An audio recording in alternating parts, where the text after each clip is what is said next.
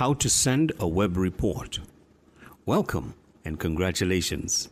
You are here because you want to learn how to populate a new web based report and send to the NFIU. First, log in with your credentials. That's your username and password. On the top right is the name of the officer and the name of your institution, meaning you are recognized first as an entity and staff of that entity on the goAML portal. So, for the purpose of this session, let's start by creating a new report.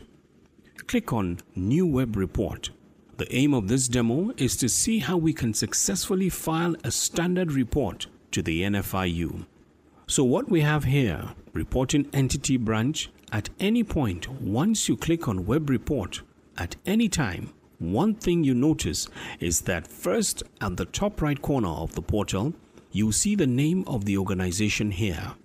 You will also see your profile name, meaning the system has already identified you. Anything done on this portal is done in your name, the CCO, and the entity name. So let's start. The first field here is the transaction number. Click here to generate a unique transaction number but you can actually create yours. But it's advisable to generate a transaction number, then put the policy number there. Account. Under the account field, we enter the account number of ABC Insurance Brokers Limited. Now, the account number here must be 10 digits NUBAN, while the account name of the organization is ABC Insurance Brokers Limited. The institution name meaning the bank name.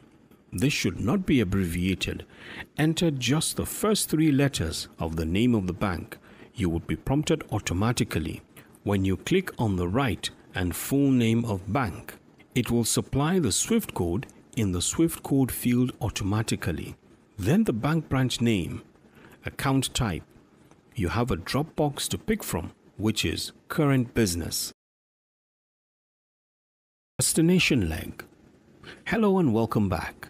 Let us continue with the destination leg of this report. Don't forget they are paying for group life insurance on behalf of Dangote. So now we'll start with your own information. Like the earlier process, we entered your account number. Then we enter the account name of your organization. For demonstration's sake, which is Nicom Insurance PLC. Your banker's name is GT Bank account type, click on the applicable one for this as current business. The account should be active. The currency code is Nigerian Naira. Once the form is submitted, it will be locked from editing. It will still ask if you want to proceed. This is a complete report. If it's not completed, it will show Submit. That's it. If your KYC details are collected and stored in a standard electronic format, at the time of accepting a customer, it will take a very short time to populate the mandatory fields.